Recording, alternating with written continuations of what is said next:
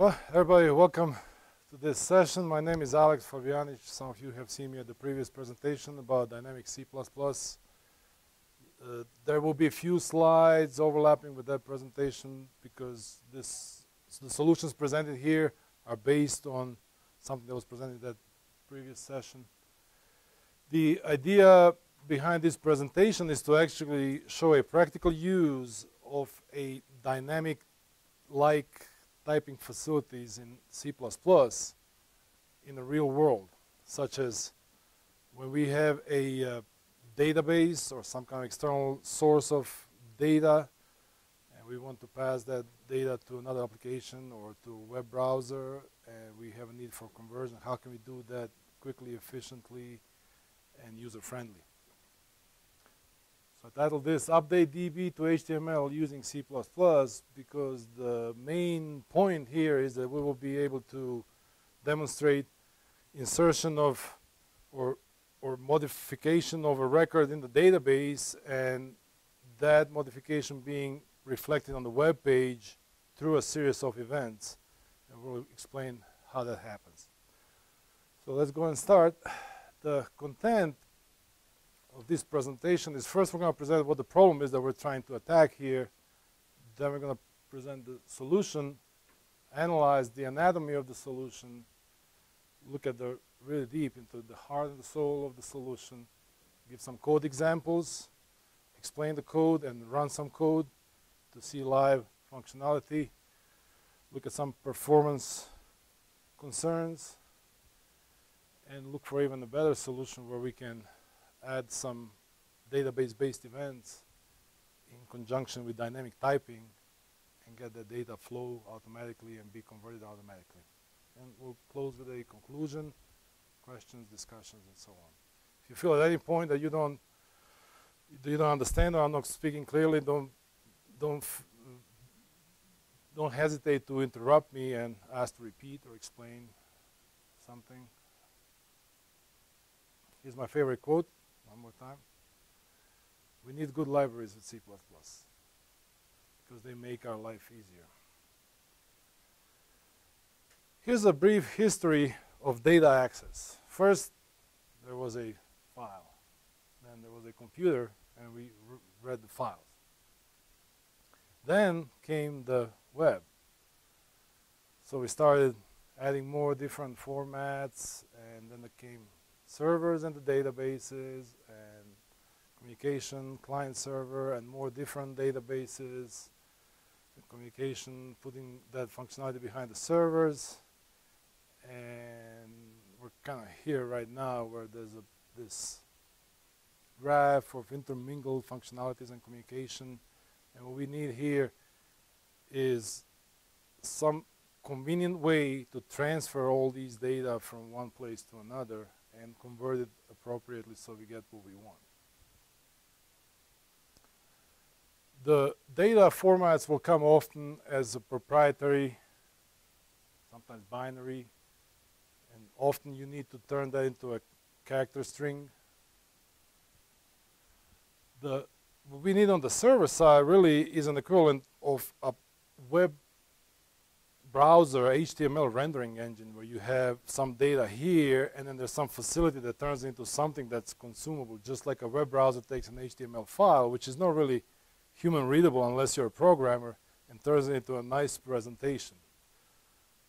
This is what we're facing, basically. This is what you have, say, with the browser. You have a file, you have a, a rendering engine, and here's the result for human consumption.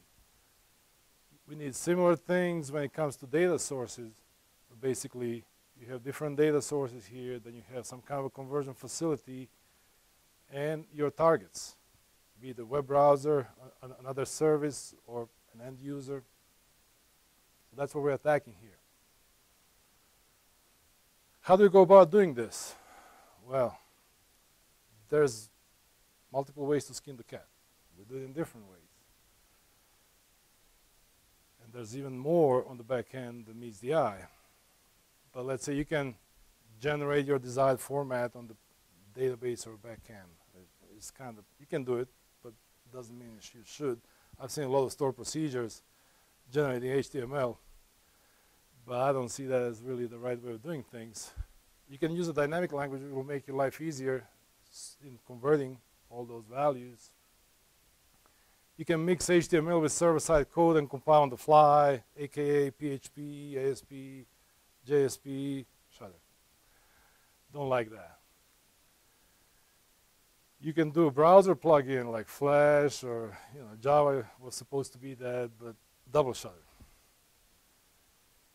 Or what we're presenting here, you can use a static language on the server side, and you can use something like Ajax, AJAJ, I guess that's what they call it now, with JSON on the browser side. So you have a static language on the back end, you have a AJ, uh, uh, JSON and, and on the client side, and basically what you do is on the server side is really critical. How do you address this? Because you're going to be getting all these different formats and how to shape them into something that's consumable, which most often will be some kind of JSON or XML on the client side.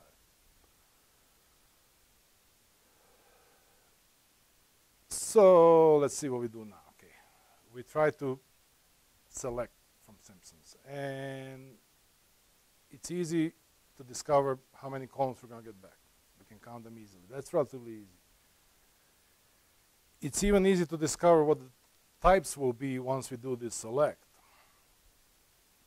But it's not easy at all. It's not impossible, but it's not easy at all out of the box with what you have out there to bind those things that you get back to your variables. And that's where, yes, you have a question? Oh. So that's where basically this presentation comes, trying to present how to go about doing that. So here's one solution, ODBC. I'm not sure that's a solution. So lots of code to discover everything and yes, this will be somewhere in the background, but this is not what the user should be seen. That's not what the what you would be programming every day. You're not going to be efficient if this is how you're programming. Now this, on the other hand, is a little bit better. You can do all that. Oops, sorry. It went one way forward. So what you do in this slide here is you have a session. You tell it what type of the database you have on the back end. You tell it what the name is. It's your connection string, be it ODBC or SQLite and whatnot. And then you create this record set, you give it the session, and you give it the query, and you stream it where you want to stream it. Stream it to cout or stream it to uh, web. This is nicer than what we've seen before.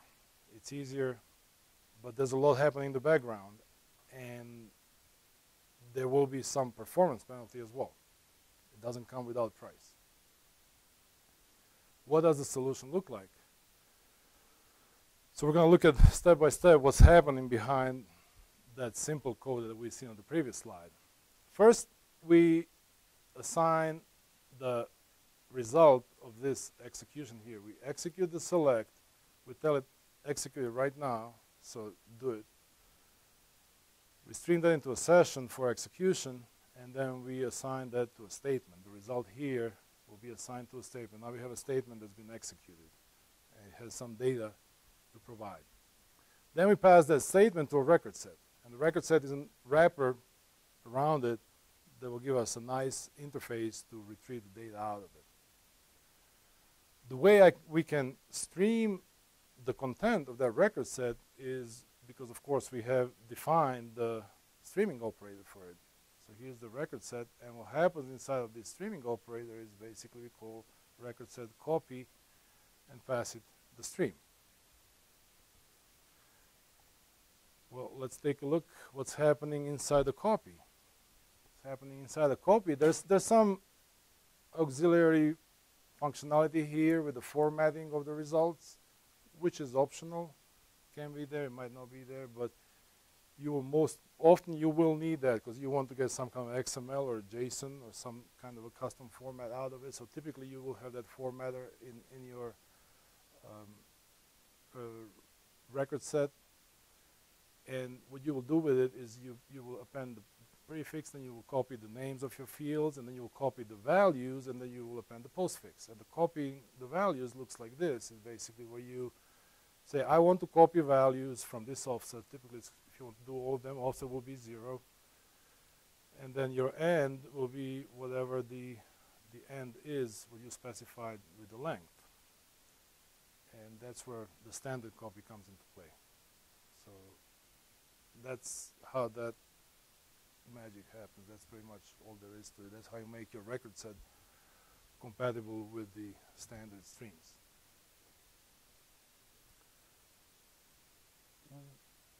What we have inside the record set, there's an association with the row, and then the row has an iterator. So you can, these record sets are basically STL compliant because you can iterate over them, and you can do things with, with them like you would do with any kind of STL container. So what you see here is basically is the operator star for the row, which returns the basically the the um, operator star for the row iterator, which returns a reference to a row. So when you dereference that iterator, you will get the row, a reference to it, to be precise. Here's how the operator for the output stream and the row is defined. It's basically you convert values to string and you stream it to the output stream. And this is what values the string look like. You take the formatter and then you format the values to desirable, whatever you're desiring to get out of that statement. And that brings us to the heart of the solution. It's a class row, and we have here assignment basically with, which happens when you execute that statement. What happens here is you assign that value to a vector of Poco dy dynamic vars. So this goes in transparently. For those who have attended the previous presentation, it's basically this wor works similar as boost any, where you can assign any value into it. It's transparent, it will take any value. The way the Poco dynamic var differs from any is it provides also the extraction facilities where you can get different values converted on the on the outside.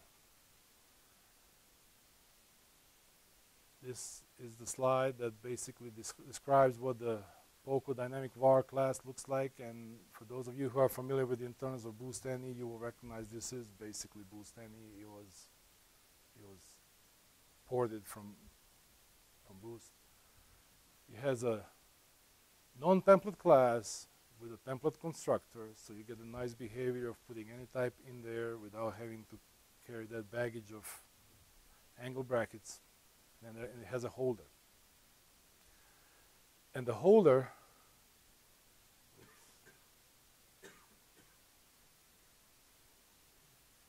okay. The holder is basically same as boost any holder. What happened with when we looked at Boost Any, it was basically the limitation on the extraction side, where you actually have to know what you want to get out of it. If you don't know what you want to get out of it, you can't get it. So for this particular use, it wasn't it wasn't quite cutting it. So we extended it with that extraction facilities. If you look at the Boost Any and what it looks like, you can do things like like this. Put uh, any into std list, but then you have though all those different values wrapped here and held inside the uh, container. But when you try to get them out, you still have to know what type they are. And that was the limitation. This is what the Poco var in the practical use looks like. So you can do pretty much things that you would do in a dynamic language. You can assign different types. You can start with a string. You can assign that string to a var. You can assign to the var to a double. Then you can add one to the double and then assign it to another var. And then you can add one to that and assign it to a float. It's all transparent. So all those conversions are basically in there. and they work as expected. You also have dynamic uh, struct, so to speak, which is a basically uh, s- similar like real struct. It's just dynamic. You can put any kind of type in there, and it's keyed by integers, so you can key them also by. It's keyed by strings here, but you can also key them by integers. And here's another example of pretty much similar thing. What you can also do is basically when you assign a vector to a var, you will get a array-like entity, and then if you convert it to a string, you will get a JSON out of there. So that's all that functionality is, is built in.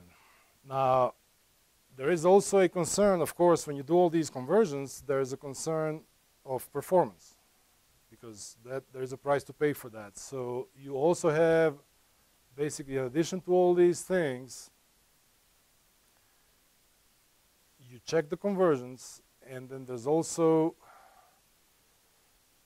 a way to extend the var to your own type if you wish. So this is the basic var holder and then here this one is for end user extensions, if you want to specialize this for your type and provide your own conversions to string or so on, you can do that. And then the specializations for the most common types, such as string, uh, standard string, or int, or datetime, and, and similar things are provided out of the box. So let's take a look at how can we use this facility essentially to to do what we did before. Take that um, select statement and turn it into something that is consumable by by a stream, and even more than that, we want also to send that over the net to an HTTP client, which is a web browser. So we're going to have the record set, which will have the dynamic var inside of it. There's going to be a session with the database. And there's going to be a statement that the user will provide. He's querying the database. And then there's going to be the row formatter that actually does the, the formatting for us. At this point, I would like to take a look at the code that actually does this and take a look at what the results look like. So if you will just bear with me to, to switch the screens here and run some code.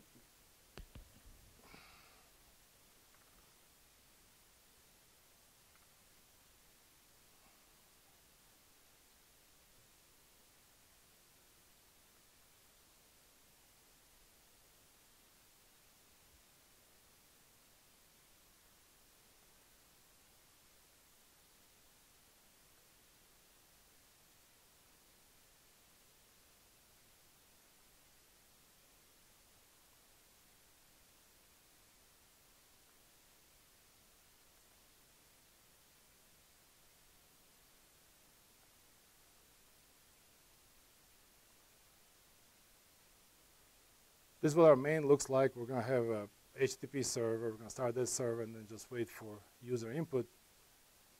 What will happen when the request arrives, we're going to take a look at what is this user looking for. And this is mainly what we're interested in. The, we will request HTML or XML.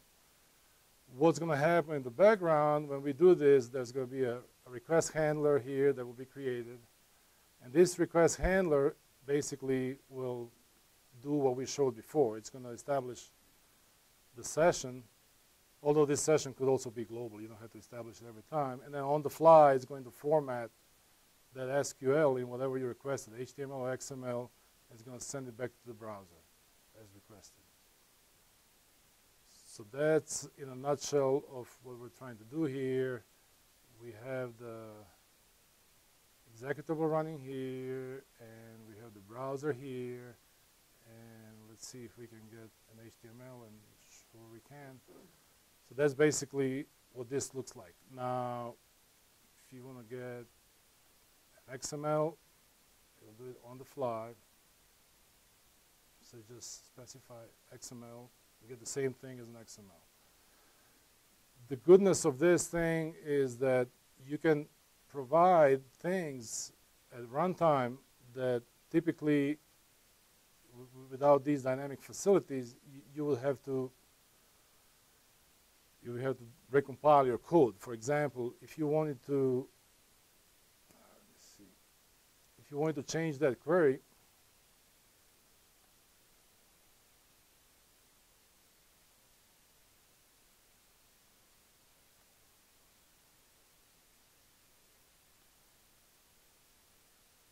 here's our here's our query basically where we're querying Simpson. Let's say if we want to change this to do something else, just change the query. And what happens here is essentially that we don't have to recompile everything. All we have to do is refresh and we're going to get something else. Now, if you think this is a fertile soil for SQL injection, you're right. When you when you do this at home, be careful how you do it. So I'm not advertising this as a good way of doing things, but there is some benefit to it. There's no doubt about it that where you can, and I personally am using this kind of functionality to to do some some real world applications, and it does work well. If you have a strict requirements for performance, there is a performance penalty, of course. Things happen here on the fly. The conversions happen on the fly, the detection and all that. So you have to carefully evaluate what you want to do with this kind of thing. So this is basically what this code looked like. We can look again of essentially you have that request and the request gets hold of the stream. There's a socket behind it, of course. It's just a server socket. You get hold of that stream, and then you stream your record set, and you give it the appropriate formatter. Plug in the formatter in there, it's going to do the right thing. Any questions so far? Okay. This is a real-world example. May not show very well, but you have some charts that basically, these charts have up to 100,000 points each. This is live database grids. It's a EXTJS based interface and it's a Poco-based backend with Oracle database, some SQLite. It works well. It runs on Steel. Yes, sir.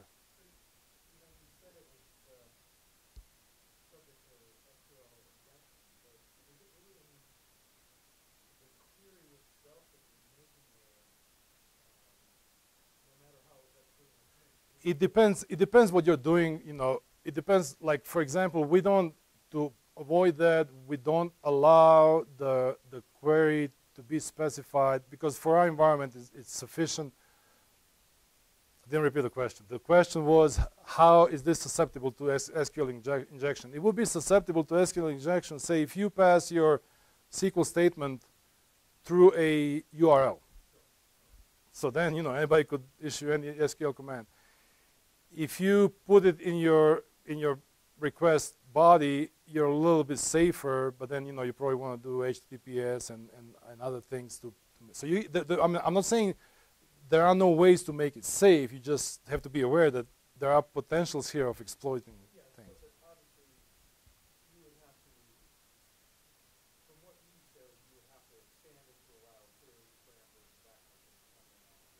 That's right. That's right. Yes, yes, of, of course, of course, yes. There, there, are ways. I'm, I'm just, just saying, I'm not unaware of the dangers that you know might be introduced here if you're not careful what you're doing. So I'm just warning people, hey, if you want to do this, it's a powerful thing, but be aware that you may do some things that can be, you know, dubious from the security standpoint. So it's really dynamic. Well, in a sense, it is. You instantiate values at runtime, but really it's all static under the hood.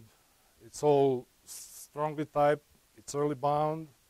The way you achieve this is you utilize the weaknesses in the C++ type system, those loopholes, you know, void pointers and things like that, unions where you can kind of subvert the strong type system and then you can allocate on the fly, and there are different techniques that I talked about in the previous session.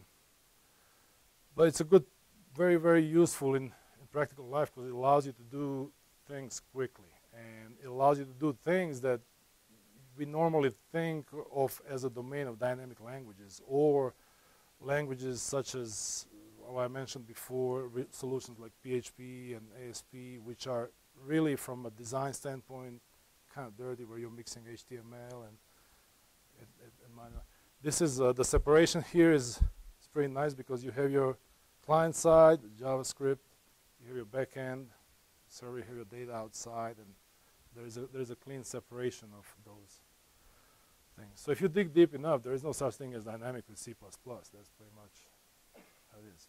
If you need performance, there's a way to get performance as well. There's actually several ways to get performance. We're going to look at what they look like. Let's say if you really want to, you don't want the dynamic discovery, like when you do select from and you give it to the record set, and the record set will take care of figuring out how many columns, what types, and all that. If you don't want that performance penalty, then you will declare your type. Okay, I know what my thing looks like in the database. I know what types there are. So here they are. Their name is a string, address is a string, and age is an int. So I want to pass that to the framework, and then the performance will improve. What you do is you have to write quite a bit of code here. It's kind of ugly, but it's not really a big deal. You just write your, your binding, and you, you write your size, telling the framework how big this data binding is. So it's three, three values.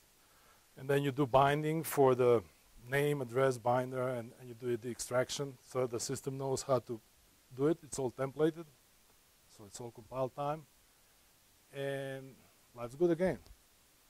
So what you do is you declare that person here, and then you say, for example, inserting the person values, three question marks, and just give it the person. It's going to figure it out.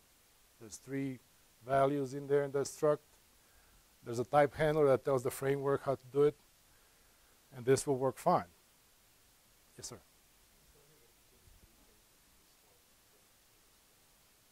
Perhaps, but I am not at all familiar with Boost Fusion. Could be, but I, am really, really not, not familiar with it. Sure, sure. I'll, anybody who has any questions offline, I'll be available. This is my last talk. I had two this morning, and I know I'll be done with it in about an hour, and we can talk about all those things. You can also put that person in a vector. If you have more than one person, like the whole Simpsons family, you do that in like this. You just create a vector. Say select into people, right now, just execute, and it's going to fill up your vector. It's going to resize it automatically. If you don't want allocations, obviously you do some reserving here and whatnot. There are also other ways to improve the performance if you need bulk uh, operations, say with the ODBC, with the backends that support that. Uh, you can do that too, but there are some limitations what can be done there. But you can quite bit, I've seen with some some database backends, you can improve your performance with the bulk operations up to 10 times. Because, but then also you're limited with the pod types. Obviously, you can't pass std string into a bulk operation because it's not contiguous, and so there are there are some limitations there. yes, sir. Ah, I know. Yeah, yeah, yeah. We took it from there. Yes, yes. Perhaps I should have put in the tray, but yeah, that's where we that's where we took it. It is. Uh, it, as a matter of fact, when we started working on it, we asked them if they want to join the project. They didn't want to. We like the syntax, and we take it. What's controversial there is the comma operator. Should you or should you not? The question. I'm sorry. I, I didn't repeat the question again. The question was that the interface presented here is very similar to the SOCI interface. And in fact, we took that interface from SOCI. We asked them, join the project. They were thinking about it, decided not to. We took that and developed our own thing. To overload or not to overload the comma operator. I personally don't see a harm here. I'm not saying you should go wild overloading comma operator, but I don't really see a big harm here. It kind of looks nice syntactically. I personally like it. It's been working. It, it works fine. I use it in in real world. It works fine. So I don't see any problem there. Yes, sir.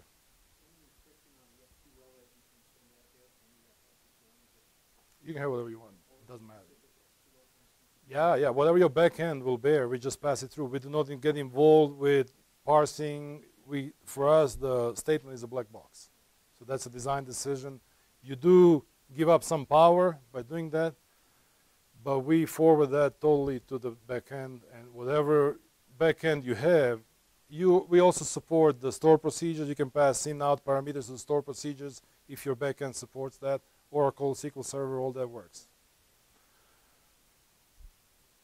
You can also do this. This comes out of the box, so you don't have to define your own struct. You can have uh, a tuple of string string in as a person, you can have a vector of persons as people.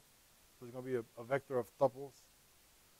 And then you populate, and then you insert like this, and it'll work out of the box. Because the type handlers for tuples up to 20 members are built into the framework. So this just works. And it's all static. And you can do the same thing. You can select back into the vector. The vector is going to get sized appropriately. And it works. So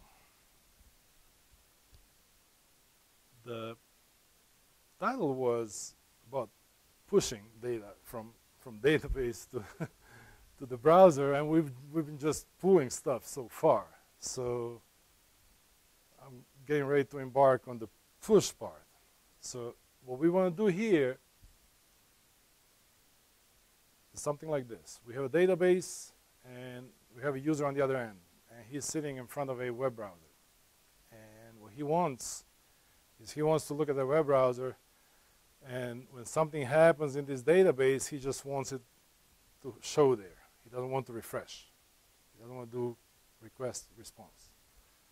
And as it turns out, there's a convenient vehicle for that, WebSocket, that will do the job, which is basically a socket that you open your HTTP server. It's pretty much your, you upgrade your HTTP connection. You open that pipe between the web client and the web server. Now it's open and you can push things to the server. Very, very nice. When you have an industrial process, and you want to push stuff from your machinery to the web interface for an operator to be updated automatically, it works really good. What does the solution look like? We have that HTTP server. What we have to do here is we have to register the callback with the database. The example that we're going to take a look at is works in a limited way, but it can be more generalized because the solution presented here is basically this callback registered with the SQLite, and it will only be triggered if you insert from the same session. If you open another session, insert there, then it won't, it won't trigger that callback. You can work around it by defining triggers and external functions. It was too much for the presentation, so I did the simple thing. But it does, it does the same. It achieves the same goal. So you register that callback with the database. On this side, you have the WebSocket. In between, you have a good old record set, dynamic var, and row formatter that do the job of formatting things exactly the way you want to see them on this end. So here comes this user here. He inserts or updates some data in the database, issues a statement, event happens, and the data just goes. So that's essentially why the title of the session was no hands. So there's a little bit of hands here, but this guy can just sit and watch. So he's just, just okay, I open my connection and I'm, I'm, I'm waiting for it to happen. At this point, I'll turn to the code again. Any questions about this so far?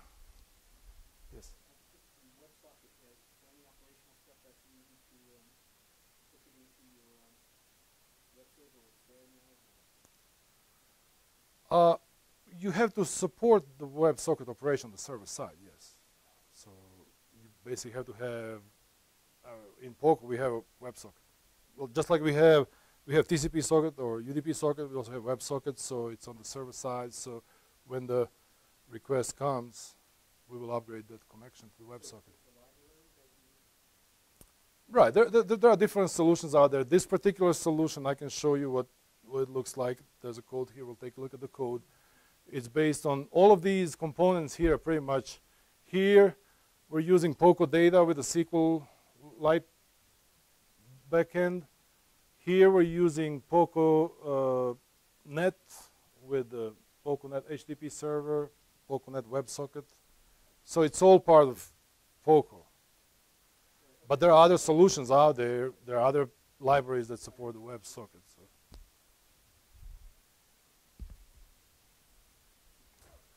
So. let's look at some code here.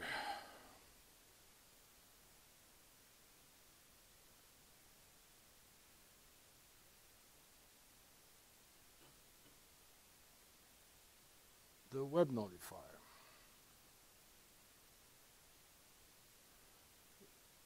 Let's scroll down to the main. Can everybody see okay this code? Is okay. Let's just take a look first at, at the main, what, what we do here. Basically, we create a request handler factory and we pass that factory to the HTTP server. That's what, when the request comes, the factory will decide what is the handler for this URI. You receive a URI, it says, okay, you're looking for an HTML like we before looked at HTML or XML. It will decide, okay, this is the handler that handles this URI. So that's what the factory does. You give it to the HTTP server, and it will be triggered when the right URI arrives. The database stuff is, this is a little custom written uh, event handler application that uses Poco data and SQLite in the, in the back end and you also give it this factory here because what you want, the factory owns that WebSocket, and you want to get hold of the WebSocket inside your, your DB event handler. The, the, this handler actually gets called, the member function of that handler gets called when the record is inserted or updated. And at that point, it calls the WebSocket. You start the server, and you run the shell because we have to insert from the same session. So we run a little shell where we can insert data from the same session. But as I said, you could do this with the triggers and external functions, and they will work even from other sessions.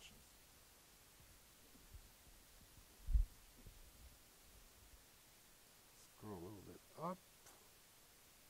That's our shell. Nothing interesting there. Some help. This will end up as a sample in the in the Poco distribution, so I'm trying to do it tidy let's first look at the, since we mentioned the request handler, so basically what happens here is if we get this request, we're going to create the WebSocket request handler. We will establish the, the handle of the WebSocket uh, creation request. This one will just send the web page. There's nothing interesting there. This one we're just ignoring because the browser will ask for your favorite icons, so you just ignore that because we don't have one. That's pretty much what happens inside of that factory. The next point of interest is the the WebSocket request handler. So essentially, this is where we establish that we establish the, the WebSocket connection and we just keep on looping that. There's not much happening there in this implementation. You just receive that initial request and you keep on sitting there doing nothing because the, the browser doesn't really send anything other than a request to, to start the connection. The interesting stuff happens here actually because here is where we send the data that we have received a notification from the database back to that WebSocket to the browser. And this, as you can see, is, that is in the WebSocket request handler. And this is actually called from the handler, the database handler, which is part of, you will remember, the DB event handler. So essentially, you will see here that when we create this DB event handler, we have here a notification mechanism here, so we register these delegates. and we say, okay, we want to register this delegate on, as on insert and on update. What happens at, at that point is this will be triggered on database insert. And the handler is here. For example, if you look at the on insert, this will be called by the SQLite engine. So your on insert is called from SQLite. Here you detect, what SQLite will tell you is just the row ID that was changed. It won't tell you what exactly was changed. So it's, a, it's not exactly as fine as you would want it to be. With triggers, you can do it much better. Because what happens here is you will just know, okay, this is the row ID that changed. And when you go to notify, you have to query it, okay, give me that whole row because I don't know what changed. So it's a little bit, you, you, you do hit the database there, but it's all transparent to the user. Once you do that, is essentially you get that, that row that was changed, you get it, and then you just stream it to the this ostring stream here, and then you pass that string to the that handler before that will send it back to the WebSocket. Maybe another interesting point here is the, the comma separated value formatter, which is one of those formatters that we looked before. And it looks like this. So all, all there is there, we don't care about any prefixes, we don't care about the the column names. All we care about is just to separate these values with the commas. So when we send it back to the browser, the browser knows that it's going to get the comma separated value, just split that in JavaScript and update the thing. All clear so far? Everybody good with it? Good. Let's take a look at some real functionality and how this works.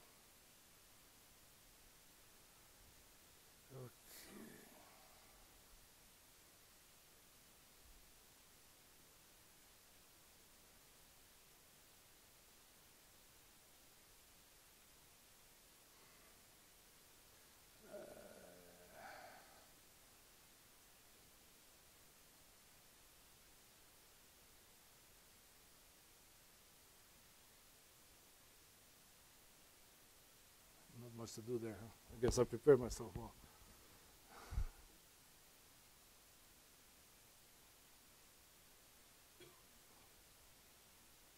So we're going to run the, the back end that we were just looking at right now.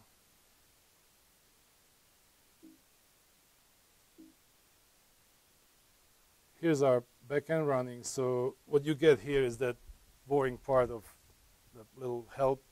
that tells you, okay, this is the example. So this is how you should do it. Uh, run the browser, connect to it. When you see the connection established, and then you can issue a few commands here on this prompt, and you will see the changes reflected on, on the database. So that's what we're going to try to do.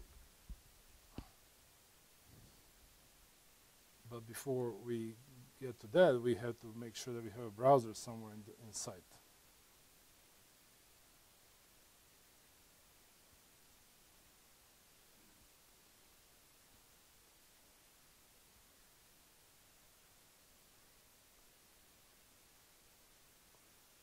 One we don't need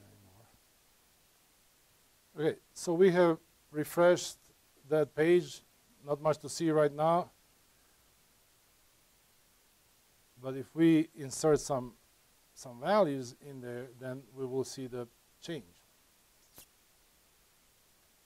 Let me just arrange my windows for a second. So let's say that we want to do insert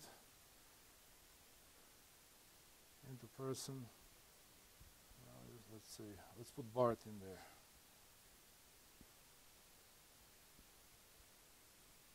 How old is Bart? 10.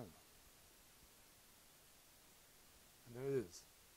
So now, okay, we misspelled Bart's name. That was insert. Now we're going to try to do the update.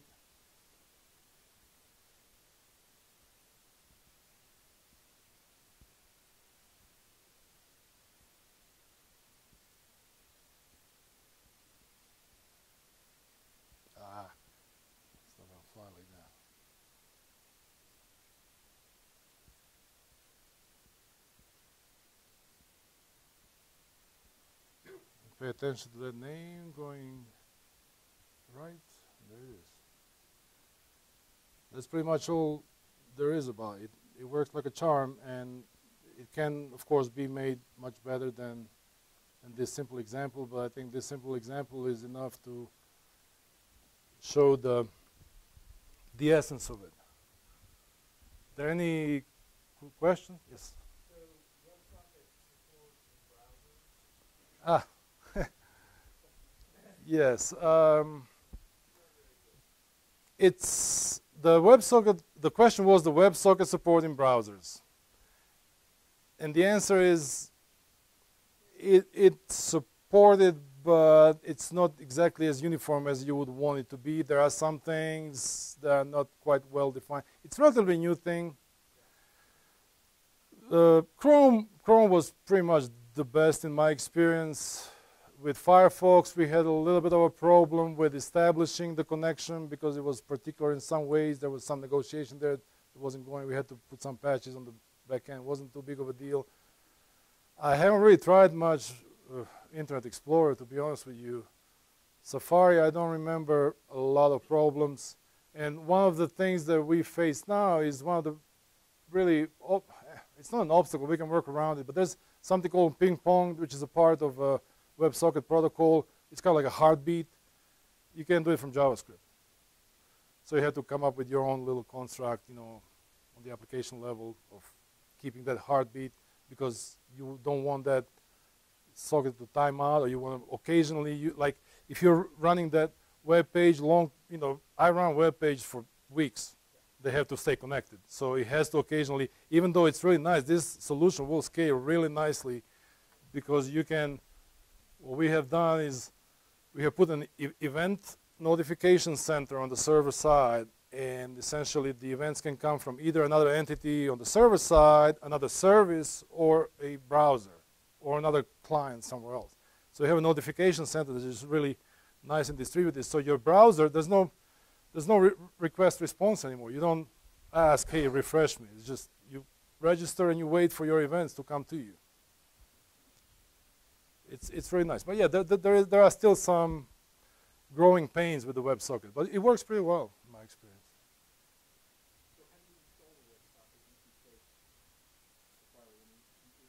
It's supported. It's, it's supported by the browser. If, the, if your browser supports it, there's nothing for you to install. You just use it. Yes, you through JavaScript. Basically, there is a way, and we can take a look at what it looks like from. I can show you what the code looks like. Uh, yes, you could you could think of it that way. Yes.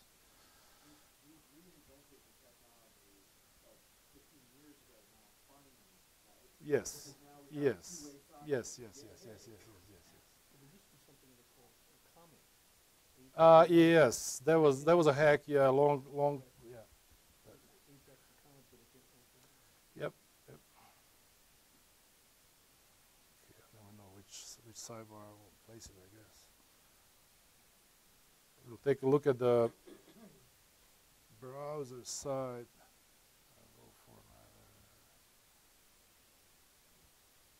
This is the this is the web page that we've been looking at. So essentially, nothing interesting here. Just a little bit of logging that you've seen under that table. But just if you have WebSocket in window, that means you have you have WebSocket support. You do new WebSocket. This is where you go to the server. That's what triggers that handler on the server side, establishes the connection, and then you you do your you register your callback. Say uh, when you open, you do this. When you get the message, you do this. So this is where the data arrives as a comma separated file um, uh, string, and you just split it by commas and update the table. That's all there is. Very simple, very straightforward, works well. I like it.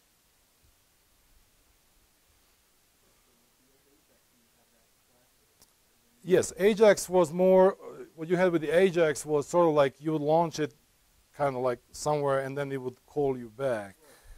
But with this, you don't have to do this. You just register, and if there's something, it's going to come. You don't have to keep on asking it. With, with Ajax, you know, from, from from the user standpoint, from the programmer standpoint, the web browser, it was kind of similar because you also had callbacks, but there was stuff happening on the client side that you had to keep on asking, hey, do you have something? This is kind of like, don't call us, we'll call you type of thing.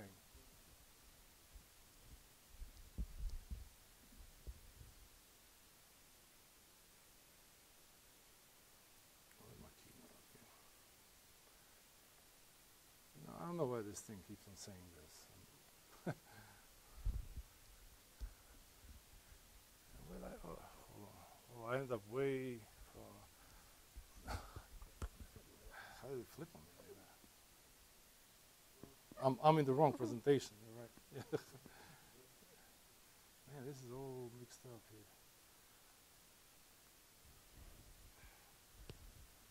There's something about this projector that my Mac doesn't like.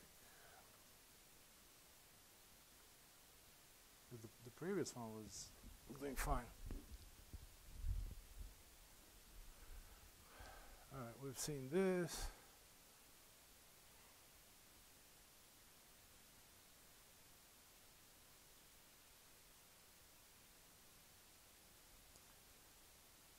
What do the events look like? The code I've looked at before, so essentially you create that session, SQLite, database name, you pass it a notifier, and then you register basically on insert. This notifier is known to the, it, it knows about the database. So you tell it on insert, do this, on update, do this. And when the event happens, it's going to trigger it. It's kind of like delegates. It's an observer pattern. That's what. It's kind of like delegates in C Sharp, if you're familiar with those. Just POCO implementation of those similar. There are also other ways to skin that cat, but we don't have to get in that. So on insert looks like this. We looked at it before, so we essentially get the, the row that we have received, and then we, we notify with that row ID.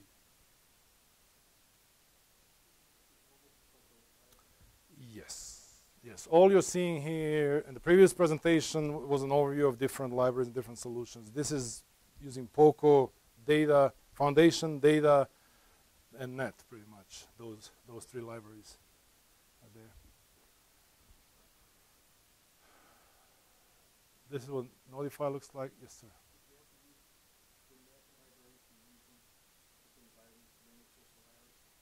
The question is if you have to use the net library for different environments, and the answer is yes. POCO is a portable components library. So you, it comes with with a number of libraries such as Foundation, Net, XML, Data, JSON. There's a bunch of libraries there, and they're all portable. In some cases, there might be some kind of a platform-specific thing that might not work for some platform, but the most, for the most part, it just works. Like, for example, we support, our logger supports uh, Windows event logging. You can't do that on Linux, of course. But the loggers, all other loggers, if you want to log to a file, you want to log to a database, that all works. So yes, the answer is you, you do have to use PocoNet library for, for this solution, but there are other solutions out there you can use using the same WebSocket standard. The WebSocket loop, basically what we looked at before, this one doesn't do much. It just receives that initial hello world and then stays alive, just keeps it alive. There's not really much there to see. You just create a new WebSocket on the back end. You stream throughout the it was established, and then you receive the frame. It's just going to receive one initially, what you see on the client side. You create the WebSocket there, it sends hello world. That's what happens here, and it just stays alive.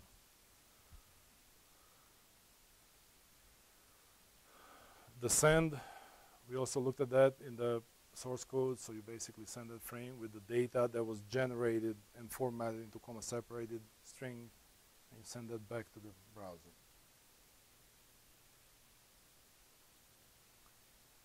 On the browser end, we also looked at this. This is the, the code that we just reviewed a while ago. This is one real world example. It's a 3D presentation of a steel manufacturing line. So essentially this this web page done with 3JS on the on the client. The previous one was EXTJS. This one is done with a 3JS. You render 3D your, your environment, and then this environment registers with the backend for the events that it's interested in. So if one of these pieces moves, it will update accordingly.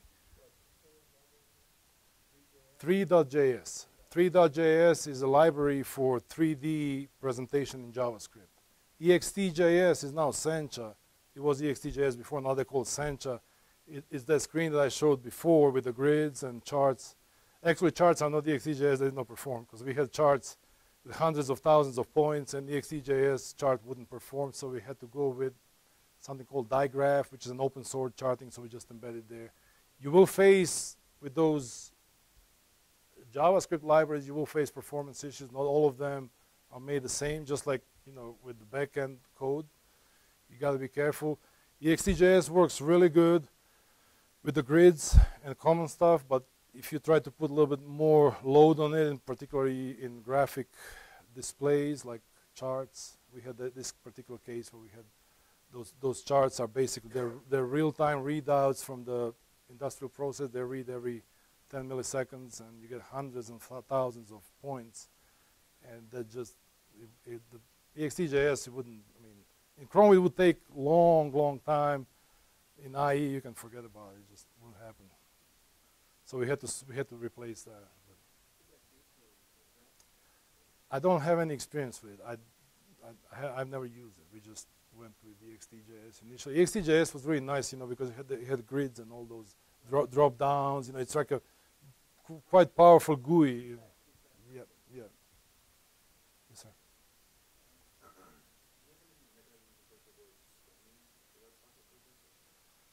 The question is about the mechanism to avoid spamming the web sockets. Uh, that I think that would be. I'm not aware of anything in the protocol in that sense. I, I guess that would be an application level where you can say, you know, you can blacklist some some IPs or whatever.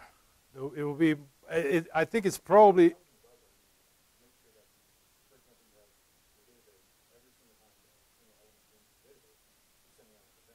uh-huh.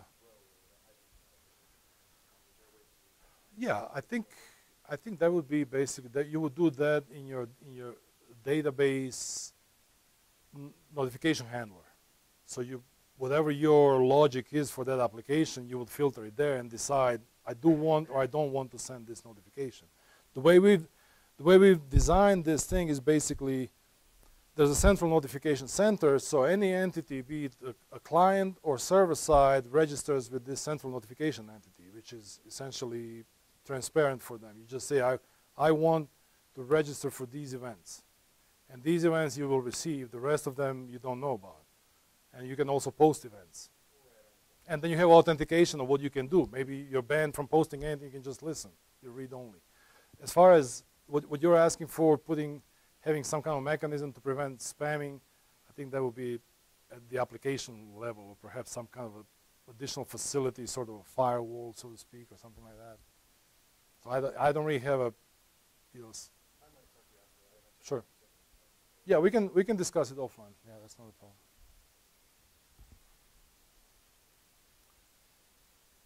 These are the two articles that were published probably five years ago about the dynamic any. There's a dynamic C++ coming in the June ACCU overload. This is going to be the first part, having just any and variant.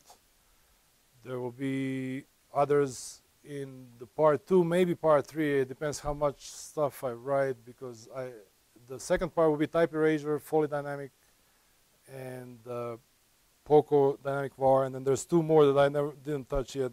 It's Qt, QVariant, and Adobe any_regular. But stay tuned if you're interested in it. Last but not least, a little bit of advertisement. Poco, take a look at it, play with it, contribute. Yes, sir. Boost. The question was what the license is. The license is Boost. It's BSD-like license. We do have quite a number of libraries that are embedded in there, such as zlib, SQLite. We're careful about that. They're all BSD-like There's a list of them in the documentation so you know what you're getting. The POCO code is boost licensed. Those embedded libraries are all BSD type. So that's what the licensing is. So you can do whatever you want. It's a large, comprehensive, well designed frame where we're trying to create something along the lines of C sharp and Java just in C++. So you have really easy way of doing things. So, uh, we get a lot of beginners and a lot of medium users who are not that well versed in the expert knowledge of C++, but it's easy for them to get up to speed with Poco. We get a lot of those people. Makes C++ programming fun, at least we want to think about it like that. It is 100% standard C++. We do not reinvent the wheel unless we have to. So if there is a standard facility, we use it. If it really, really, really doesn't cut it, then maybe we'll get involved with reinventing it. That's all I got. If you have any further questions, I'd be happy to answer them here, or if you have something you want to discuss online, just hunt me down. Everybody seems happy. Well, I'm here today and tomorrow, so whoever has anything.